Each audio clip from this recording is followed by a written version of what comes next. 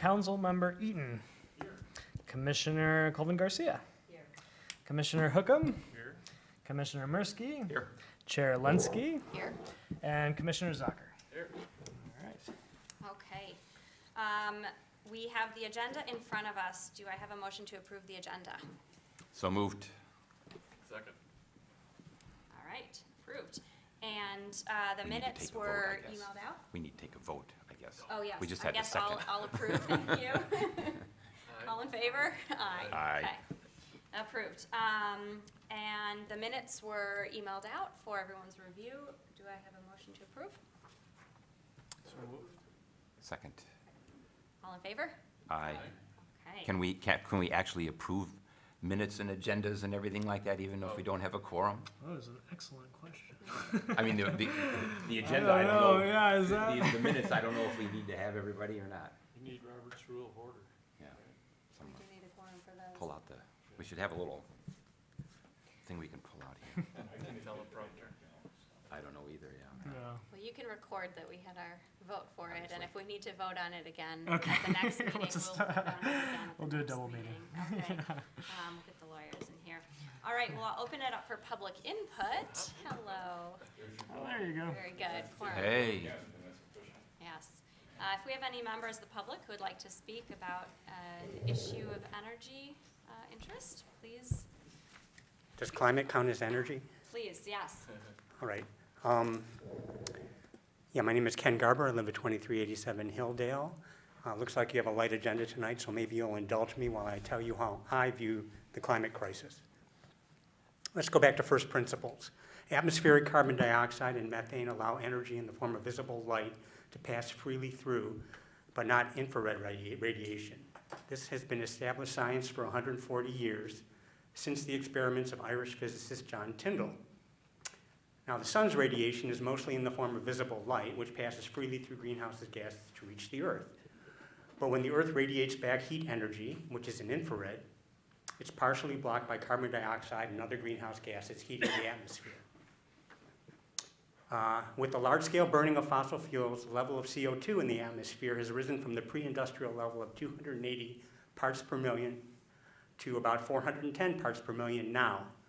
Global temperatures have risen about one degree centigrade, with the five hottest years on record coming in the last five years and the 20 hottest years in the last 22. Now, all this I know you know already. Um, Climate models allow us a certain carbon budget before reaching two degrees centigrade heating, which is considered the threshold of global catastrophe. The IPCC and other modelers estimate the carbon budget to be about 700 billion tons of CO2. That's 700 billion tons of CO2 that we're not, that we are allowed to pump into the atmosphere going forward, and that's it, no more. Right now, we're pumping about 42 billion tons of CO2 into the atmosphere each year, and that number is rising. Do the math. That gives us 16, 17 years except that the principle of global equity dictates that the poorer and less industrialized parts of the world deserve a larger carbon budget to pull themselves out of poverty. University of Manchester climate scientist Kevin Anderson calculates that the industrialized world needs to re- reach net zero emissions by 2035 at the latest in order to allow poorer nations up to 2050 to reach net zero. Now, to be clear, at two degrees centigrade heating, many people will die from extreme weather events, droughts and floods, agricultural collapse and disease. But they'll be poor, they'll be non-white, they'll be low carbon emitters, and they live a long way from here. We've already shown how little we care about them from how much CO2 we pumped into the atmosphere. Given the front loading of CO2, it's realistically too late to keep temperatures globally at 1.5 degrees higher um, than pre-industrial. So two degrees is the best we can realistically hope for. So the industrialized world must achieve net zero by 2035. And we must take decisive action now because we're talking about overhauling our entire economic system, which you can't do overnight. We've shown over the last 30 years that incrementalism does not work. Annual carbon emissions have almost doubled since 1990, the year of the first IPCC report. The baby boomer generation, my generation has completely failed in its great generational mission. We've wasted our 30-year grace period doing absolutely nothing to address the problem. Now the world has run out of time, and only radical action can save the earth from complete catastrophe. Thank you. Thank you. Thank you. Okay, seeing no additional public input, we will move on to the energy report, news from the Energy Office and Commissioners. And um, I thought that um, sitting new in this seat and uh, John Mursky next to me, new in the- his role as vice chair, we would, you know, speak for a couple minutes um, just about, about that. Um, And I wanted to just start by saying, you know, that in my um, six years on the commission, um, I can recall only one other five-four vote um, before last month's election, and that was um, about nuclear energy, which we all know is the topic that is the most divisive thing to um, environmentalists. So I just want to say I recognize and acknowledge that, hope I can um, lead uh, in a non-divisive way, and just recognize that um, the kind of surprise non-reappointment of our uh, illustrious prior chair and the election last month uh, may mean that we need a little bit of healing, and I'm going to do my best to help facilitate that on the commission. Um, The other thing I wanted to mention is just um, maybe uh, like a couple minutes of background about myself, because I know um, when I joined the commission, I had the opportunity to share a little bit of um, my bio with the folks who were on it at that time, but um, many of the people here were not. Um, And so I just thought it would be helpful to share. I, I want everyone here to know just how deeply I share the environmental values, I think, of the fellow commissioners here. Um, I got my master's degree at the University of Michigan in the School of Environment and Sustainability um, in Sustainable Systems. I put solar on my house in 2012. I drive an electric car. I've cloth diapered my three children. I'm still cloth diapering the third of them. Um, we're a fully vegetarian household, so on and so forth. And I say that not um, to pat myself on the back, but I wanted to make sure for those who didn't know me that you know that um, I do share uh, those values. Um, and, and, you know, while those actions are important to me, as I know they are to many of you, to um, kind of live your own values, I believe strongly that, um, kind of as we heard in public input, you know, we're not going to um, solve our sustainability challenges via those kinds of actions, and the change really has to come at a large scale, fundamentally, um, through our, our biggest institutions, places like municipalities, like the city, and like utilities. So that's why I'm here serving on this commission, and that's where I work for, why I work for DTE. Um, so that's my background. Uh, I guess the other thing is, you know, as I um, mentioned last month um, during the nominations, um, you guys know the, the leadership positions on this commission is not like a powerhouse of authority, right? So um, we're not going to kind of change things up here. The direction that we take as a commission is the direction that we democratically vote on and choose to pursue as a commission. Um, that said, um, Vice Chair Mursky and I have discussed some ideas we had for um, things we would like to see and wanted to uh, just kind of put out there for folks' consideration. Um, largely uh, related to kind of the efficient use of our time on the commission here and operating effectively. Um, the first thing was we wanted to uh, respectfully request that all of our agenda items that we want to discuss and any resolutions that are up for discussion are provided at least a full week in advance to Josh so that they can be shared with commission members and with the public. It's the respectful thing to do for those on the commission, obviously for the public. Um, and hopefully then, you know, we can help our meetings run more efficiently if everybody has had the time to and committed to, for example, reading a full resolution in advance of getting here.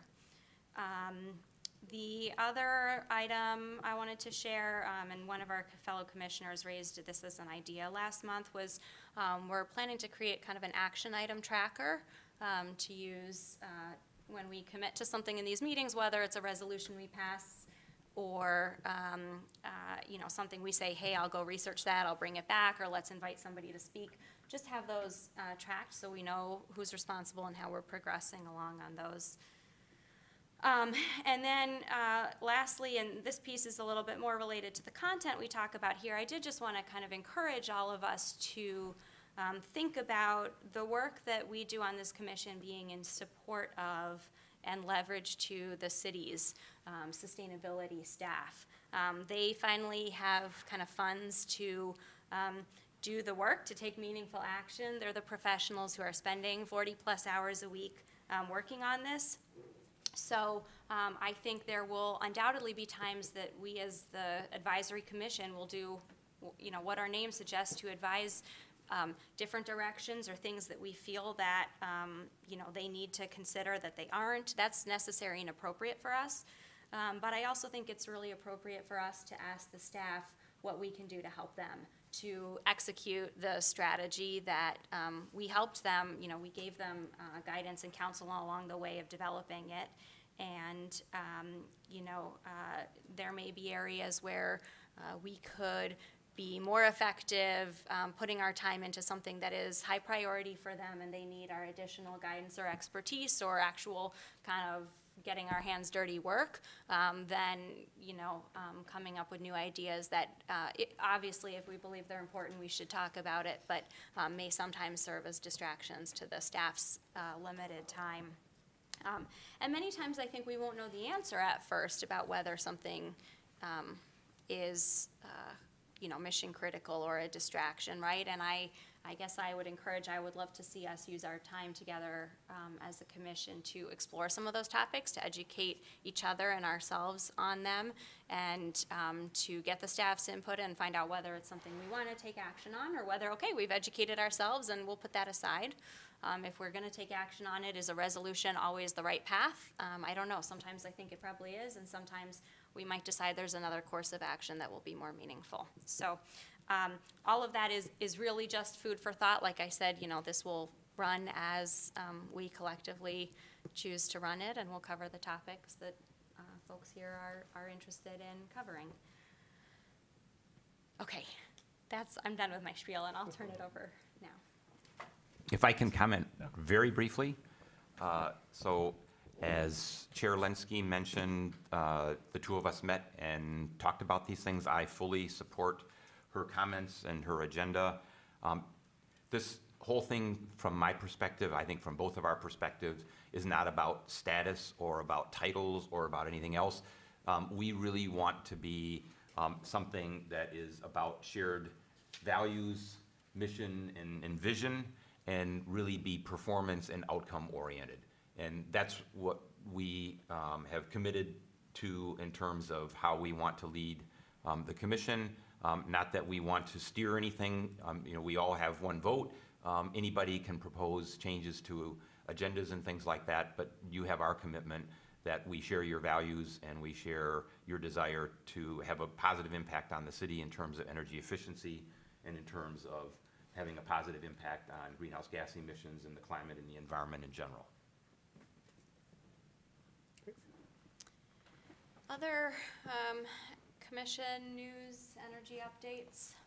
So I guess this is a, a great segue, um, kind of the collaboration between staff and commission, uh, to talk a little bit about fire station number six. Um, so Chuck's been helping us out a lot as far as uh, fire station number six goes. I figured, Chuck, do you want to just kind of uh, highlight some of the things that you put together here? I, I sent this out uh, a little earlier today, and we do have kind of the copy here. You have a, a mouse, you can kind of scroll through and all that. Yes, so I kind of violated this one week criteria right out of the box, so sorry about setting a bad bar. Uh, We can exceed it next time. Um, So, Fire Station Six came out of um, an audit that was done by Honeywell of city facilities, wherein we tried to come up with some um, ideas on what we should do spending-wise on our infrastructure to improve it, both energy efficiency and what else on the renewables front. And so, I think Fire Station Six caught our eye as being one of those that could do both. And um, the document that was produced by Honeywell, we walked through that as a commission briefly one night, about a year ago, I think. And then we think we had a vote on whether we should recommend continuation of their services. And I think we decided to take it offline. And we're still in that mode of what makes sense from a city point of view holistically. But I think what we said is Fire Station Six represented an idea that could be a community-facing solar system that had a lot of benefits. And so the city decided to, to tackle the idea of working with U of M and they're, and a group of U of M students who are very interested in the volunteering aspect that we nurtured in, in Ypsilanti and take that into an Ann Arbor-based alignment. So this project has a lot of those elements in it in the sense of volunteerism. So I decided, I'm a professional engineer, I do a lot of solar projects around town, to volunteer my services as well on this to help move this along. So I'm working on this from the perspective of design and hopefully support procurement, construction. Um, it's a nineteen eighty-one facility, it's, I think, eight thousand square feet of roof space. It has lots of exposure, not a lot of shading, so it has a great opportunity for adding solar. It's a flat roof. At one time, the city put up some solar thermal on the roof, and that didn't work so well, so that system is still up there, needs to be taken down. Doesn't look like it has any viability to move it forward. It's an older system as well. So the suggestion was, what can we do to maximize our, our investment here? So We've looked at this, Josh did an analysis, I've done an analysis to look at how much solar could we put on the roof realistically? And then looking at it from the perspective of different benchmarks, you know, looking at the demand of the facility, what kind of solar PV makes sense, um, looking at it simply from the facility, as well as, is there more solar that we could put out on the, on the grid? So at this moment, I, I guess, Josh, I'm not exactly sure, the city filed the application with DTE on the category two? Yes, so we have uh, the, the interconnect paperwork in uh, to grandfather us into the old net metering. Right. uh, And we've done this for uh, about 13 buildings Right. roughly. Um, Large city uh, buildings as far as large users, as well as kind of iconic spots, um, parks, things like that, that are out Yep. in the, in the community. Do you recall what we put in number-wise for kilowatts on this? I think we did uh, 60, maybe a little above 60 kilowatts. Okay. Um, We went a little higher just to be safe. I think Okay. That was the, yeah. Good. So what you'll find when you go through this, and I'm not gonna, I'm not gonna walk through this, I think it's a lot of information for you to, for you to look at in your light reading. I'm one of these people that always look at charters. I like to see objectives stated, goals stated, metrics defined, schedules identified, budgets. And then we can always go back and use that as a metric to, are we on track? Are we doing things to plan? Um, if something happens mid-flight, we can make adjustments and, and move forward. So what you'll find is some technical requirements in here, you'll find the code requirements of how, we what we have to meet. Um, What we found when we went to the firehouse was a lot of electrical information that was out of date, it was not ever designed, updated. We've got some very large gas-fired generation and our backup generation, which is typical for an emergency facility. So we looked at how do we best interface the solar with the building, and so we came up with a strategy, I think, that works well. We have an electrical room, we have a way to tap into the system. Um, and so at this juncture, we have, and, you know, I'll get to a, um, a picture here in a minute. I won't go through all this in detail, like I said, but you'll see a roof system that's on the screen now. We've got an upper roof that's on the west side of the building, we've got a lower roof on the east side. Um, some other features, I guess I'll just point out, um, oops, not so good. The mouse is fast tonight. I'm not. Um, You might be able to, if you do the scroll uh, bar on the right, if you just kind of grab Ah. the bar, and then you To can. do it with the uh, it's on a smart screen. Yeah, I was maybe. hoping.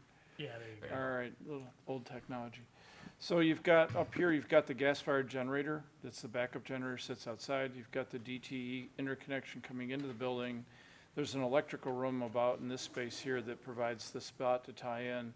So it provides pretty good access for us. And um, we looked at making sure we had enough room to work around this area. So in maintenance mode, we can actually work around this facility. We're not jamming too many panels up there for that. Um, we looked at an arrangement which is ballasted, so it sits on the roof, it's easily placed, it's easily removed. If we want to upgrade or change it, we can. The solar thermal is in this space here. We have a little bit of sha- shadowing that we're still playing with here in terms of how much shadowing is too much. So there's some panels over here that might get shadow, shadowed when a full sum, summer, summer sun hits us. But in general, um, we're southern facing, fixed array, and we have very little shading that's really gonna impact this. So it should get good solar insolation on the system. Um, I haven't modeled how much yet, I don't know exactly how much we're gonna get in terms of generation at this stage. We haven't really totally optimized panels, but we're still in that mode. Um, I wanted to understand what our, what our capabilities were. So this is kind of a least cost, if you look at what we're, what I'm doing these days with single and dual axis tracking and some really fancy technology, this doesn't go there. We, we just simply want to generate with, with practical tier one suppliers. We've looked at some of the tier ones out there. Um, Mac and Mac is a local supplier of electrical. They've apparently muscled up and said they would help us on some fronts. So we're planning on going down a pathway of logic. Um, the one place I'll stop here, we have about two hundred and ten modules. Um, we're looking at about three hundred watts per module, DC. We're, we're an aggressive AC-DC ratio. We're basically at fifty-seven kilowatts AC. Um, the building demand is far lower than that. So we'll, we'll be pushing power out on sunny days to the grid, um, pretty regularly. Um, I put together division responsibility. The Ann Arbor Energy Commission's on here. Guess what? All the folks on the commission are gonna be the owner's engineer. So as long as Josh lets that happen, the documents I create and the information that we pass along, which are gonna happen, I think fairly quickly now, because we'd like to get this thing moving very quickly, will flow through this commission, so we'll actually have some technical eyes on things, which I think works well. So Josh's office is the owner, um, as is the fire department. The fire department will also be supporting some of the labor and helping out in the field. Um, there's an architect that's separately doing the energy efficiency work that's not related to this project, um, or budget. And here's kind of the schedule we're looking at. And it, shows that we're gonna be basically energized this year, which I think is a pretty strong goal. We'll have labor coming back into town in September when the students have nothing to do at the beginning of the semester. Hopefully we'll have panels from the stuff up on the roof and get them rolling. So I think this is still achievable. Um, the budget still being refined. You can see that down at the bottom. I, I, it will be in much greater detail here shortly. I need to work with Josh and Missy on that front. And you see the personnel involved. So you've got Wayne, John, and, and the, um, rest of us as, uh, Energy Commission supporting the project. So, um, here's kind of some thoughts on how we're gonna move it forward. I think it, it makes sense. There's a lot of good involvement. I think there's a lot of community engagement. So, uh, at this time, I'd open it up for any, any questions folks might have. I have a few questions, as usual. Uh, First of all, uh, my understanding is that we had, uh, I don't think it was called a GoFundMe, but it was the equivalent to raise money, and I was wondering how much we actually did raise. It was around 12,000, wasn't it, at one point, or was that No, wishful I- I- thinking? Yeah, I think we had a target of ten thousand. Uh, I think it got closed out around three thousand. Um, so that's how much we actually ended up raising. Okay. Um, and I do want to, I want to take a, a second just to, to thank Commissioner Hookham for all of the work he's done. It's, it's been incredibly helpful, and I don't think we'd be where we are now without all of his work. So I just wanted to take the moment to, to thank Thank you. Um, and then also say that uh, things are continuing to move on the site. Um, there's a, a the safety component of it. We want to make sure uh, having volunteers uh, that you know we go ahead and, and, and make sure that they're they're safe. Um, so we actually have a ballasted uh, rail system that's been put up on fire station number six. So that's already up. Great. I think the piece, uh, and I've uh, emailed some of the, we have a kind of fire station group, I guess, a working group. Uh, the piece that we're working on, I think is probably going to take the longest, um, is a kind of PPA model. Uh, so currently, we're trying to see if we can get a, a power purchase agreement uh, with Michigan Saves, and that's probably just from the kind of legal uh, aspect, the, the legal component. We got to just make sure that you know everything looks good as far as the contract and all the terms are worked out. So I think that's what's going to probably uh, and, and has already uh, pushed the project out uh, this far. Um, there is also another piece of that as well, which is uh, I think as, as Chuck has uh, mentioned that uh, when- students come back in August, September, because they really did help to, to start this project, it's going to be, I think the timing will be right uh, to have them come back and, and kind of help with the, the volunteer labor on the fire station number six. Um, so in the end, the, the timing actually might not be so bad, but I do think that PPA is, is what's holding things up. The two bigger urgent things to just add on to that are Yep. getting a permit from the city, which hopefully they'll just be all over because it's kind of a city-related idea. here, Yes. but, Um, which I- I'll work that system, that, they need my drawings to do that, as well as procurement, so we Yep. need to get some things procured. Yeah, so we've been in touch um, with a few different options as far as procurement as well to see what, what the options are out there for wholesale uh, solar panels. So yeah, so things are moving. I had uh, one other comment slash question. Uh, So uh, I reviewed this this afternoon and forwarded it to Wayne Appleyard. um, and asked him about the status of the solar hot water system, because when we were on site, uh, I think those of us that were there, when we remember, there was some question as to whether it might indeed um, be something that could be resurrected. Um, He uh, indicated that he hadn't done much, although after I uh, forwarded this to him, he called the company in Canada and said that they're still in business.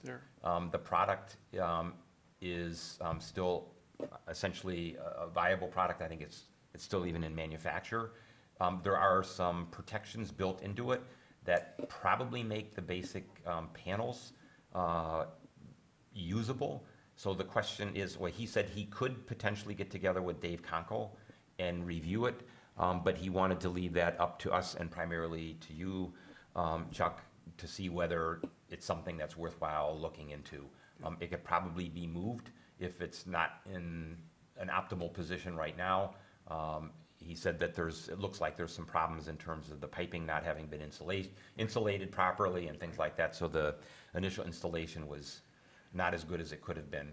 So I, I thought that I would bring his comments to the commission, um, and in particular to you, and, uh, with the, uh, request that you think about it or let me know right now, and I can get back in touch with Wayne, and he could potentially do an inspection to see if it's salvageable. Well, I've inspected it. The BOP, Oh, you the BOP's definitely needs to be reworked. So if we were to save that, if, if the balance of it still worked, and I've done solar thermal, so I know the pa- the panels are what's critical. Right. I can't tell if there's internal damage or not. Mm-hmm. The fire chief said, and I don't remember, I can't quote him exactly what he said, but basically he said it's never worked since he's been there. Yeah. I think he So said it- it was something, within a couple of months, it was, it was non-functional. So Yeah. it may have been bad training, it may have been nobody did maintenance. One Correct. of those things happened. Yep. I'd be more than happy to take that on and see if we could salvage it, but basically at this juncture, based on his input, I'm not sure it's in that space. Mm-hmm. So what, what I'll do is I'll, I'll close Yep. the loop with Wayne, I'll copy you. Yep. And um, the, the, the two of you plus Dave can decide um, to what level of uh, investment, time-wise, it is worth um, looking into it, and then we can go from there. Dave's role is? Well, Dave, I guess, is um, also familiar with the systems, and it would just be a second opinion, Okay. that's all. Okay, I guess um, Wayne had talked with uh, Dave, and Dave was indi- indicated that he'd be willing to, to look at it together with Wayne. okay, And they could do that, you could do it as a threesome. sounds good. I So like was- foursomes, I'm a golfer, but Jack, maybe you. Was Dave a, a city employee at the time that it was installed? Probably, Yeah. That was one of his Actually, pet projects. yeah, Yeah, he was. Seems like a he'd have former- some degree of familiarity. that's a good point, yep. Just another comment, I guess, as an absolute worst case, maybe they could be donated or repurposed or something, so. they That's a just don't go to possibility the too, landfill. right. Fair I'll enough. just, uh, add a second from the, um, thank you that, uh, Josh provided. This is um, a lot of work. I can tell you put in some things. Yep. Um, Well done. Question from my perspective, I, I know, um, you guys submitted the, uh, interconnection application in time for the net metering deadline. I was under the impression there was another deadline that needed to be met. I thought six months later, there was some Yeah. point, is that, uh, aligned Yes. with the timeline here? So we do have, um, we actually have energy efficiency RFP that's hit the streets. Uh, we want to make sure that these thirteen buildings, uh, that they're as energy efficient as they can be before we put solar panels on there. And we also have a solar RFP that's also hit the streets, or at least should be hitting the streets very soon here, um, for the actual installation of the solar panels on the, the thirteen buildings. Okay, what about, um, uh, for this one specifically, um, probably, you're much closer to this than I am, isn't there something that has to be physically installed by the? I thought it was a physical installation completed within six months, but There needs to be progress made, there needs to be a contract signed. A There's actually contract. a net metering contract that's a gotta contract, be okay.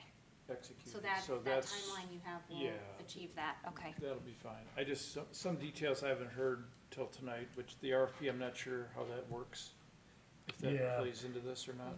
This is gonna be, um, that's a good point. Th- This is gonna be a separate project Separate. from, uh, the other twelve buildings, so I guess this would be the thirteenth. Uh, just because of the nature of the install, the volunteer labor, Right. um, and then, yeah, just trying to, to move things forward as quickly as possible. So for safety purposes, obviously, the electrical side of this project will be contracted out by a licensed contractor. Yep. And, and hopefully, but between me as building the electrical, we'll end up with a better situation that they've got now, which is, we're not sure what we have. We're looking at the breakers and not sure what's live and what's not, so. Okay. Commissioner Cole? I was curious to know what percentage of the needed funding is in hand? Or is that being, So that has to do with the kind of PPA process. Um, so if we end up doing a power purchase agreement, um, it's kind of a, a way to uh, lease and then pay back. It's, it's almost like a, a loan that we'd be paying back on the system. So, and that's, that's where we're, we're currently trying to figure out the, the legality of, of, you know, the terms and the conditions and the contract itself. is that something the city attorney is and the city finance? Yes. Okay. Aside from what's been discussed here, is there anything else, um, Josh, that you or Chuck, that you guys, um, could use as assistance from the commissioners over the next month before our next meeting? I think the big thing would read the, read the charter and let us know if there's something that anyone wants to participate in in more detail, if they want to work on design or anything they want to work on, anything would be welcomed. And then maybe what I need to do a little more granularly is advise the commission what's coming next and when. So there's a heads up that we don't surprise everybody with, we need this response tomorrow. So that'll be the plan, a little more Okay. detail on that. Great. So, um, given the, uh, importance of this and the timing, maybe we can, uh, have a monthly update Mhm. on the progress of this as well as the other sites, just where they stand. Great. Makes sense. All right, anything else on this? And, and to your comment earlier, we should look at progress against the target timetable, because obviously, we'd like to generate energy as soon as we can, and we also don't want to miss any deadlines like the connection Yeah. type of deadline that you were talking about. December's not a great solar month, I can attest to That that. is true, that is So true. we'll get it ready, then it won't do much for a couple of months. That's a good point.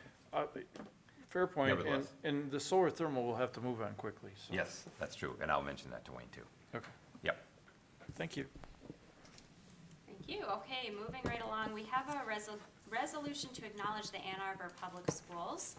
Um, Commissioner should have this resolution in front of them, and it was posted on Legistar for the public.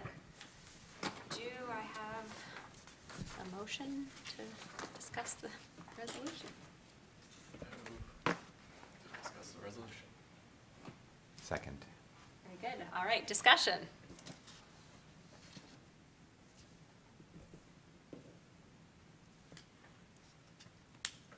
We had um, some comments that were provided over the course of drafting the resolution. And Carlene, I know you integrated those. I did. I, um, do we, would, would you like to read this before we vote on it, or do we want to? I, I have one question. Sure. The- I- As I understand it, the real objective of this is, in effect, if you distill it down, to congratulate and uh, to encourage the Ann Arbor Public Schools to move aggressively on a wide array of environmental issues, focusing on the priorities that have been outlined. Is that, that's really what's behind the resolution, right? Yes, Yes. the, the um, original motive was really to acknowledge the Ann Arbor Public Schools for having adopted um, a uh, policy and a re- and regulation into their, their um, regulation and policies manual um, titled Environmental Sustainability. It's an entire category. And the resolution actually includes the elements of the policy. And um, so we were very interested in encouraging them and acknowledging them for, for having done this. We have, in the past on the commission, provided um, recognition via resolutions to other Mhm. groups that have helped advance uh, sustainability goals. Any further discussion, questions, or concerns? Friendly amendments? I look forward to the next resolution when there's a major accomplishment, as I Mhm. mentioned to you. That's, Yes. that's where I think it's really impactful, is um, when we really see something significant, Mhm. then we really want to um, chime in and, and, and and congratulate the public school system. What they've done is lay a great foundation, I think that's great, and it deserves recognition. And then hopefully we'll be, um, having a drumbeat of resolutions uh, lauding them for action taken. Well, um, the, the priorities right now, as um, have been presented to the Board of Education, the short-term priorities are uh, focusing on energy and water, the, um, to reduce utility consumption, establish a building energy improvement plan for each building, um, as far as the focus for energy and water. And then the second priority, there's three primary priorities. The second is focus on recycling program to enhance and repair current recycling system to reduce landfill um, and increase diversion rate of the waste stream, as well as to reduce the single-use product item, items such as styrofoam trays and plastics and water bottles, straws, and plasticware. The third of the short-term priorities is to focus on supporting living and learning initiatives. So at the elementary schools, um, to uh, transform them into neighborhood centers of engagement and sustainability, and um, using school campus and buildings as living learning labs and curriculum, uh, for curriculum integration, uh, and also to enhance gardening programs and planting trees for shading. So um, in addition to that, uh, there is going to be an effort to document current school-based initiatives, and then also to create more opportunities for volunteerism and service learning. So that's what they're working on. Those are the first uh, things that they're going to be, um, it's part of this, this policy. If I can comment, make one other comment. Uh, It was recently reported um, that the school board voted unanimously to go to um, voters in November, um, asking for a $1 billion, I think is, I don't know if it's a bond or a, mill- it's a millage, it's a millage increase. And um, I don't know if you're the appropriate person to take this back, but I think from those of us um, sitting on the commission, I would hope that one of our interests is that um, as the details of that bond request are flushed out and are made public, that one of the things that we would be looking at certainly is what is reflected in the bond in terms of sustainability types of investments that the um, public schools will be making. Uh, I think the article said that the average age of public schools is something like 63 years old. Um, So that means there's probably really significant opportunities in terms of energy efficiency, which would also lead to comfort benefits, um, use of renewable energy, and so on and so forth. And I think it would be a pity if they went to the voters and said, we're gonna spend hundred million dollars, or, excuse me, a billion dollars, and we want a one, one point six mil increase, and there's really not anything significant included in that package related to environmental sustainability and climate action. Well, uh, maybe we can invite someone to speak to us That- and, that's a great and idea. um, describe to us the different aspects of what the anticipated changes would be Mm-hmm. that do specifically relate to environmental sustainability. At, at the structure, the building structure level, yeah. Mhm. Yes, that'll Okay. be on our action item tracker. May I put you as the owner? to Absolutely. I'll identify take that someone on. who can come? Mhm. Thank you. I will. Okay. Anything else? All right, shall we vote? All right. All in favor? Aye. Aye. All opposed? Okay, it passes. Uh, Moving on, we have a youth commission resolution, and this is something that um, uh, the staff member Missy Stults mentioned last meeting. It is a uh, copy of a resolution that was passed by the Environmental Commission, um, looking to add two um, seats to the commission, to to each of the commissions for youth members. Um, You have that in front of you, and again, that was posted. Um, Do we have a motion? I move to consider the resolution. Second? Okay.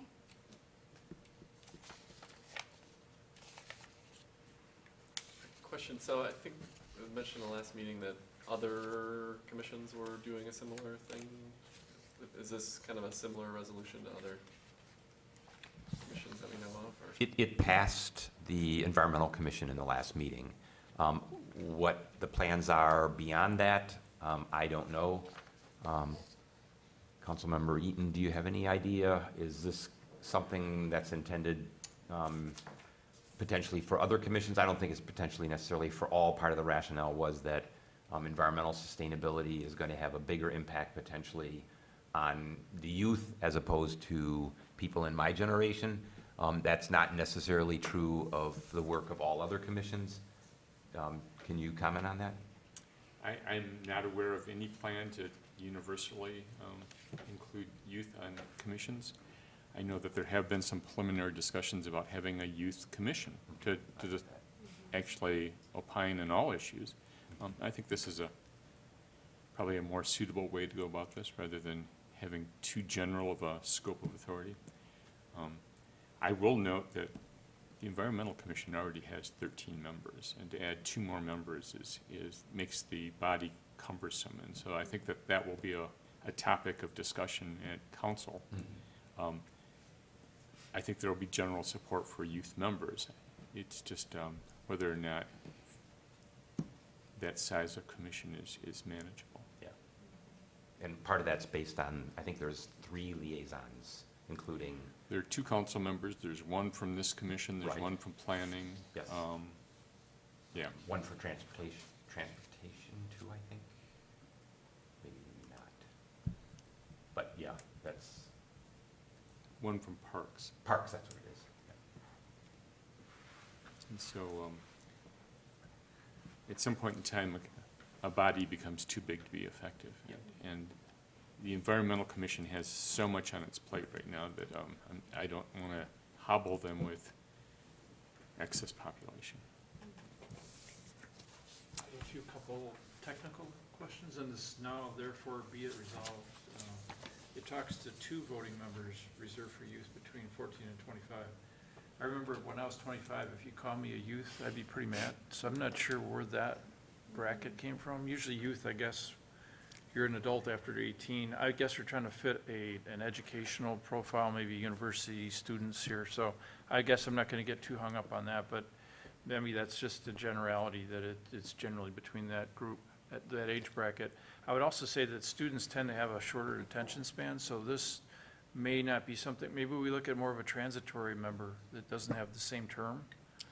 You know, I, I remember when I was in that age group, I would be interested for a, a semester and then I'd want to do something else. I, just, we need to be a little bit flexible on how we bring this out, I think, than real rigid rules.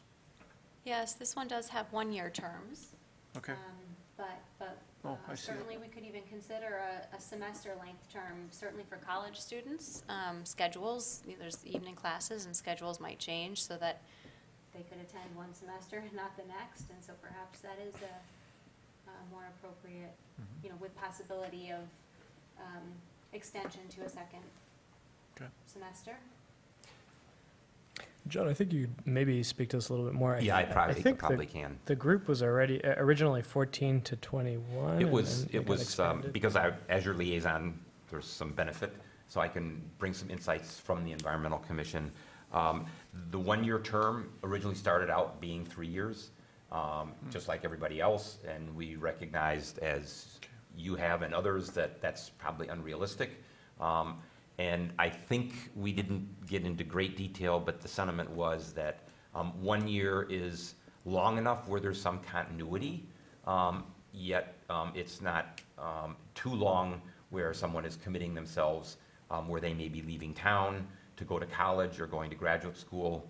Um, The increase in the age, originally it was formula- formulated 14 to 21, and what we wanted to be able to do was include graduate students, because um, many graduate students, um, particularly um, as our chair, um, are studying topics that are particularly relevant to this, and we would potentially be excluding them uh, with an age limit of, of 21.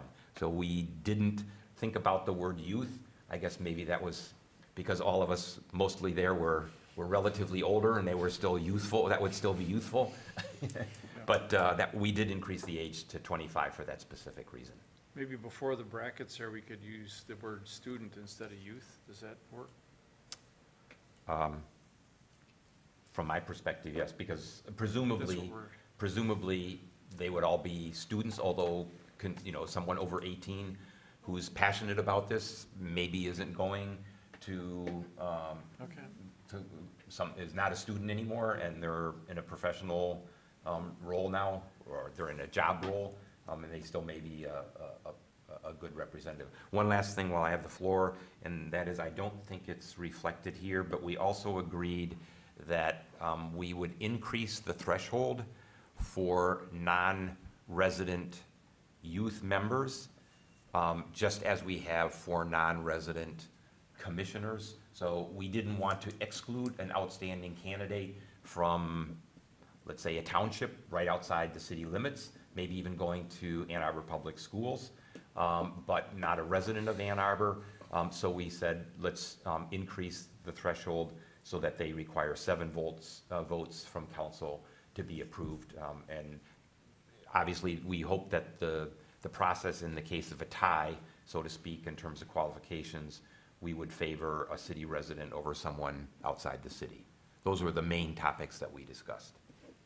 Would that be um, covered under this uh, final resolved clause about the city codes and uh, the membership section? Those, that should cover the voting required depending on residency status. That's correct. Okay. Great. It's in the charter, so we, we, we can't pass a, a resolution or ordinance that um, conflicts with the charter. Okay. Any further considerations, recommendations? I, I guess I have one last question. This goes to council for final action, correct? We're, we're not making this decision ourselves. You're passing a resolution. In favor of it. Recommending it. Yes, Okay, correct. but, Yep. Yeah, it would have to come to council. Yeah, that was, yep. And I believe that that will come out of the Environmental Commission, and, and uh, I don't see it on, on Monday's agenda, so Ah, okay. it, it hasn't come forward yet. Just got one question, I guess, about, um, obviously, children under eighteen can't vote in elections. Is there any issue or conflict with voting on city-related matters for under eighteen? Legal? Actu- Actually, the issue that that raises is that the charter says that if you're not an elector of the city, Mm. It takes seven votes to confirm you. And so somebody under eight- 18, Hmm. even if they live within the city, would require that seventh vote. I I don't think that's going to be, you know, that big of an obstacle. Okay. But, um, but because this commission and all of our commissions are just advisory, um, having them participate is not that big of a deal. Okay. Um, we had youth members on our, um, police oversight task force. It- presents some unique challenges, but it, it was something that worked fairly well. Good. I mean, I, I think it's best that they, if they have them, that they have voting privileges. I mean, that gives them more stake in the game. So just one last thing. I think that, I don't get to vote on this, but I, I think I know how this is gonna go. I, I think that we should consider, um, a resolution asking to, to add a youth member to this commission. That's what this does. Mm-hmm. I thought this was for the environmental. It was, well, as it was originally sent out, it was for environmental. Oh, I'm Commission, but sorry. This has now been changed, so it says Okay, Energy then- Commission. Then my, my concern about the, num- the number of members isn't it? so they're not gonna do it for their commission? Yeah, There- I mean, it's, it will go to council for, for approval, yes. Okay. Yeah. So this is just, I, I obviously haven't read this carefully. I thought this was about the environmental commission. So you're asking, you're advising council that we should add, um, two members to this for Yes. youth That's the members, thought. one-year terms, okay. Um, so this is the advice that we're giving to council, so, um, we would just have to modify this to present it as a council resolution. Mm-hmm. And I, I don't see a, a, a big obstacle there. I believe our fourth whereas, now therefore be it resolved, um, covers that. Correct me if I'm wrong, but I think uh, the, the Energy Commission for the City of Ann Arbor urges City Council to amend the city code to expand the membership. So was this commission established by resolution or, or ordinance? I think it was, By resolution, I think. was it by resolution? I So- think so. So we would only have to pass a resolution to, to amend that previous resolution. Okay. Are there, how many voting members are there on, the- of the Energy Commission? I thought it was 11.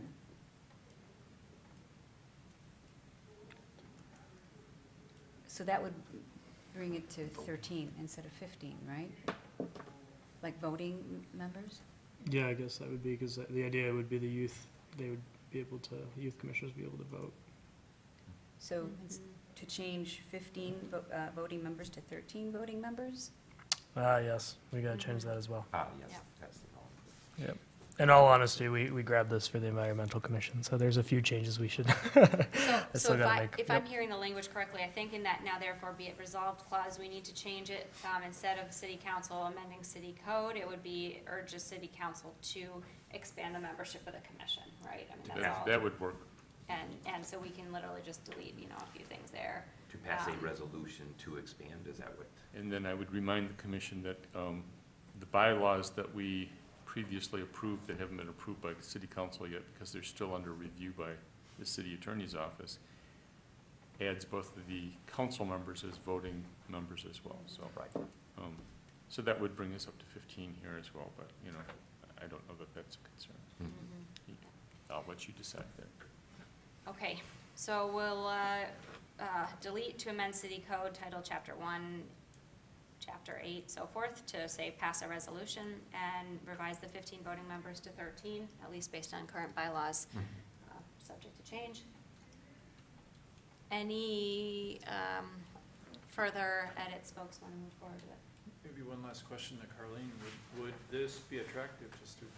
We've seen students in our, in our crowd before. I think it was a class commitment that they had to come, maybe, but maybe there is interest out there to attend this and participate. I think that once students find out that this is an opportunity for them, there will be some who will want to take this, take advantage of this. Okay, Mhm. thanks. Perhaps there's some teacher who will give extra credit. We have some aspiring politicians in the town. One last minor comment, and I can't remember how we came out on this. There was some discussion about the time of the meeting, um, whether, um, at least for Environmental Commission, because it meets from seven till roughly nine, nine-thirty.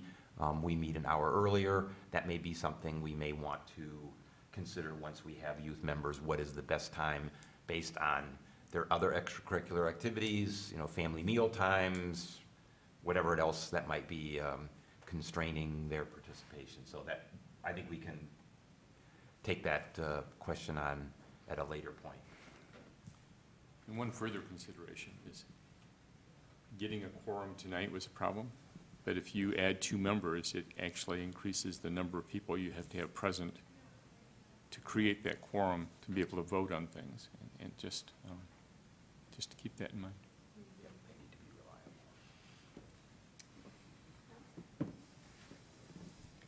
Okay, ready to vote? All in favor? Aye. Aye. All opposed? Passes. Okay, moving on. Um, That is the end of our commissions. We have committee updates now for many of the committees that have met over the last month. Uh, Do we have any updates from the Solar Access Ordinance Committee? We were unable to meet this month, so we canceled the meeting. um, And really, because of lack of effort on the chair's part, I'll, I'll take criticism there. One of the things we need to probably do is stimulate our city planning groups, whether it's the staff and commission, who those folks might be, and start processing this with them, because I want to make sure we don't get out of line with them particularly. Legal staff, obviously, ultimately will get there with them, but I think we still need to understand who that is. Yeah, we have identified someone in the city planning. Um, I don't think they could meet on the times we generally meet, so it Okay. might be a conversation as to whether we could be flexible with our uh, meeting time. Yeah. Um, but I think as long as we can find out, you know, maybe a Friday or something like that, a, a day that works for all of us, um, we can set up that, Okay. that meeting. Okay, thank you. Any updates from the Lighting Ordinance Committee? The lighting ordinance is still hung up on the issue of amortization. In other words, when existing fixtures would need to be updated, if at all. Um, The draft um, has amortization included in it. It's based on a national standard. Um, It is with the city attorney's office and between it and the planning commission. And um, I don't have any specific due dates of when it's anticipated out of there.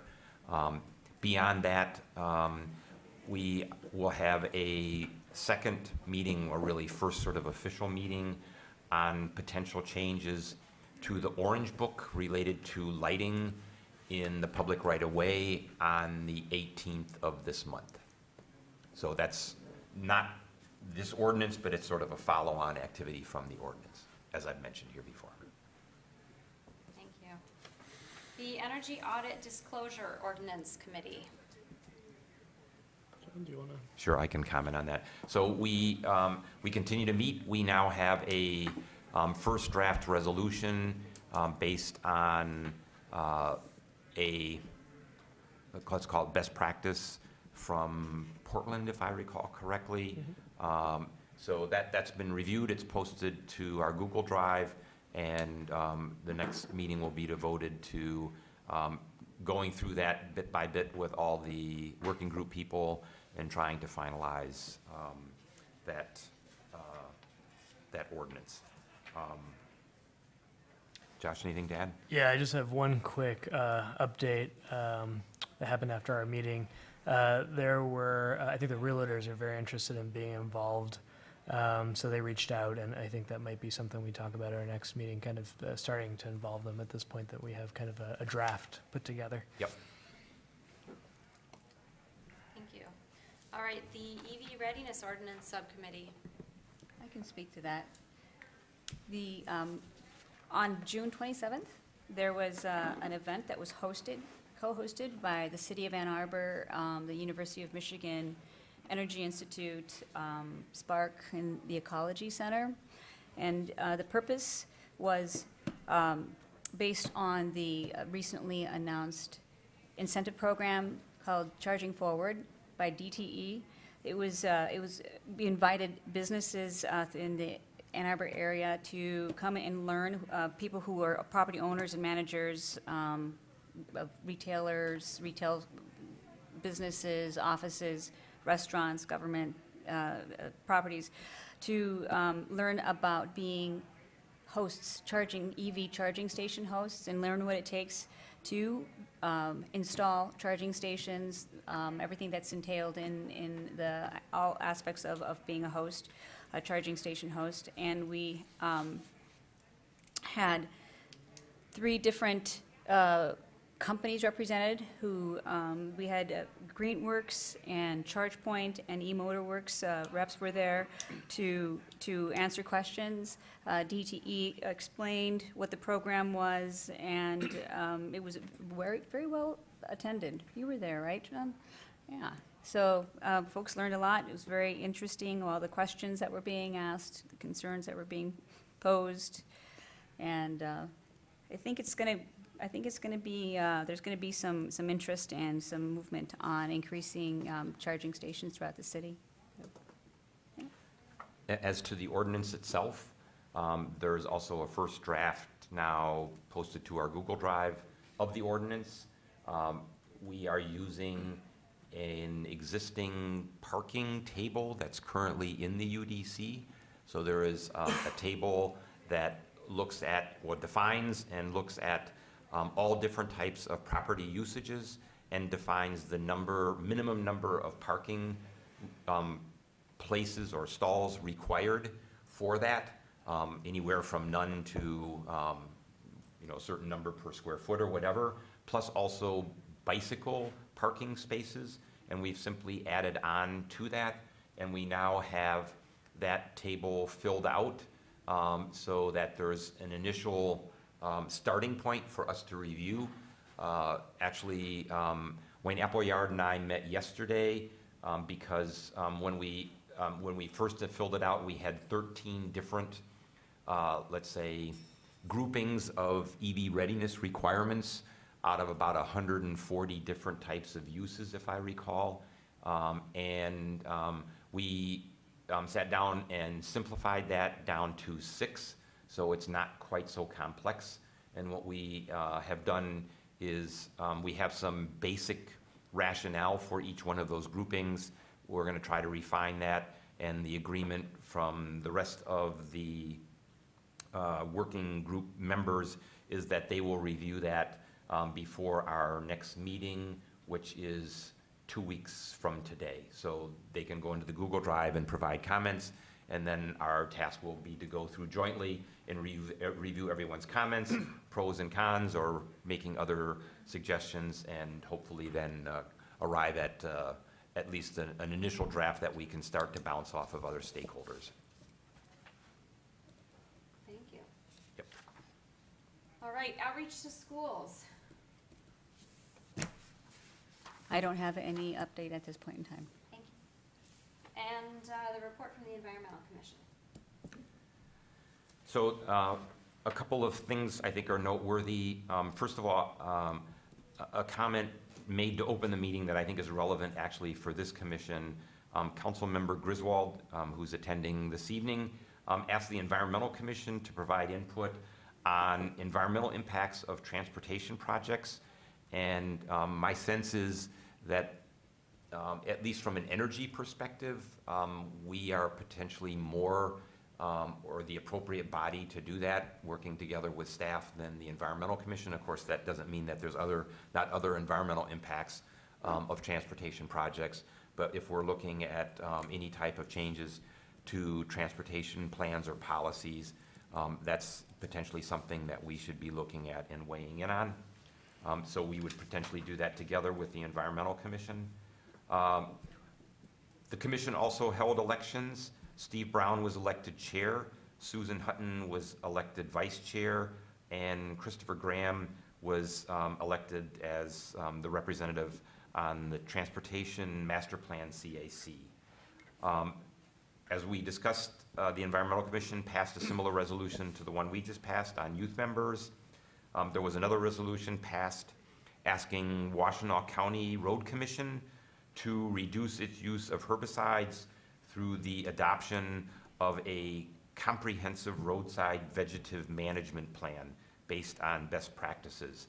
Um, It was brought to the attention that there's, in some cases, seemingly indiscriminate spraying of herbicides where they're just going down the road and spraying large swaths of uh, vegetation. And the hope is, is that um, that would be done more judiciously, not to eliminate it, because there's uh, indeed uh, justifiable reasons for using herbicides, especially with some invasives.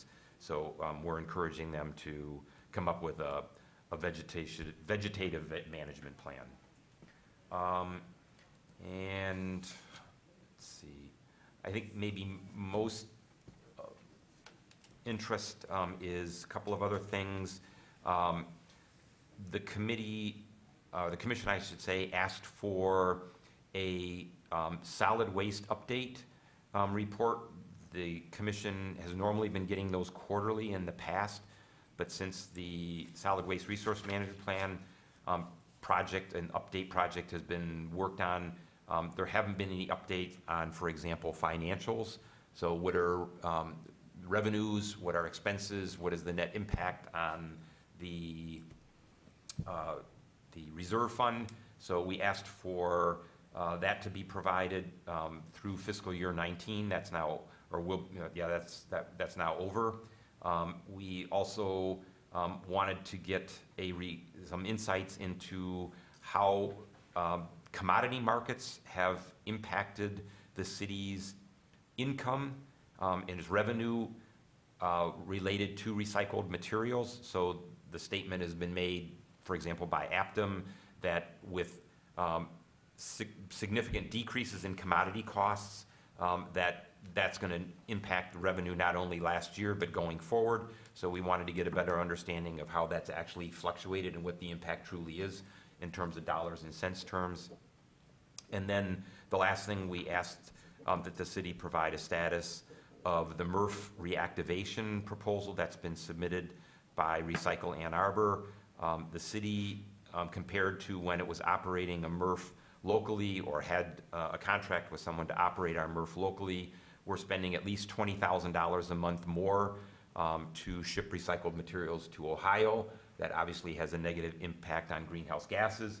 It also means that where we would have jobs processing recycled material locally, um, and most likely union jobs, that those jobs are now in Ohio processing our recycled materials. So it really makes sense to try to, to bring that home, so to speak, as quickly as possible.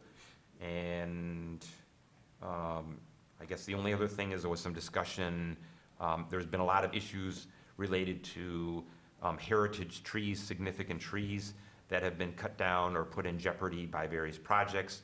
And so the request was made that the Natural Features Working Group um, look at um, a heritage tree ordinance based on best practices, and that group has agreed to, to look at that. So that's, that's it. Thank you. Can I ask a question about, um, uh, I think the first item you brought up around us assisting in evaluating the energy or climate impact of transportation plans? Uh, Does the Environmental Commission have a plan for how they will um, kind of be aware of and, uh, you know, identify which plans are, are under consideration that they need to and, and we should then consider addressing? Not that I'm aware of. Th- This was a request that was made. Um, it- In principle, it makes sense that we should look at projects from a sustainability perspective um, and uh, what the impact might be on greenhouse gases or other sustainability uh, aspects. Um, But it was just a request that was made, and I think that's something we need to discuss um, between OSI and council and see what potentially might be expected. Got it, thank you. And then I would assume that those projects that meet that, that threshold, um, they would go potentially to staff and both commissions to evaluate and to provide input on. So right now, this is just conceptual. Okay, we can, we can put as an action item to make sure we follow up and understand how, how we will get involved in those. Indeed. Okay, thank you. All right, that is the end of our updates from our subcommittees. At this time, I'll open it up again for public input if any members of the public wish to share any input. No, seeing none. Um, Discussion of items for the next agenda, and um, on this, our next meeting is, uh, our next meeting that's formally on the calendar is our September meeting. We have typically taken August off. Um, I wanted to propose, um, in some years in the past, we have gotten together in August for a work session, often a longer one than our typical meetings, some kind of off-site, um, used to, uh, talk about strategy for the upcoming year, make sure we're, um, aligned with, you know, we could use it to make sure we're aligned with staff, think about whether the subcommittees we have are the ones we want to continue, um, uh, conduct, you know, other, other, uh, commission business, obviously would be a, a public meeting, uh, given all of us getting together there, but really use it as a working meeting. Um, I'll throw that out there and see if there's interest, um, from others.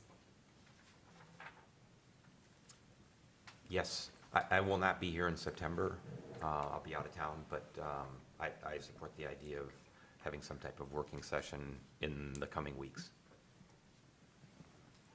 I support that idea too. I think it's been productive in the past. Um, Scheduling is always tricky, and I know I'm going to be gone for a few days in August, but Yeah, the concept is good. okay. Well, if we, if, others? I, I also like the idea as well. Okay. You just have to figure out the right date. Yeah, so if, if we do have that general interest, um, what we can do is put together a doodle poll with some options.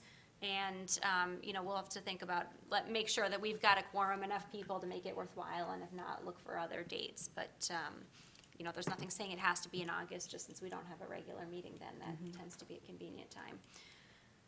Okay. Um, anything else then, um, uh, that, for next agenda, either things you'd want on the agenda for the, um, special work session if we have it, or items, um, to add to the September agenda that we're aware of at this time? We, uh, think we'll have the greenhouse gas inventory by September? We are hoping, yeah, that we get all the, the data ironed out by then. It should be ready by then. I- I- it- It's not an agenda for the next item, but maybe it's um, something to put in our calendars as a reminder, maybe, um, Josh, you particularly. Um, This Friday, the annual Rolling Sculpture, which is sort of an exhibit of classic cars, takes place in downtown Ann Arbor. Um, I've been there several times, and literally hundreds of people show up. And I think it would be great. Um, I did some ex, some inquiries as to whether potentially a slot could be reserved for this um, session, but apparently that's not possible for um, EVs. I mean, if, if we're gonna be talking and there's gonna be hundreds of Ann Arbor residents looking at the past of mobility and transportation and vehicles, Yeah. it would be really nice if there is also an exhibit where people that are knowledgeable about the future of transportation and mobility could be there. I mean, there's also some antique EVs. In fact, I reached out to the Michigan Electric um, Vehicle Antique Association head, and they have a couple of like 1910, 1920 type EVs. It would be great to have, you know, a Bolt, a Tesla, a Rivian, um, and a bunch of other vehicles um, at future events. That is run, though, apparently by the Main Street Area Association.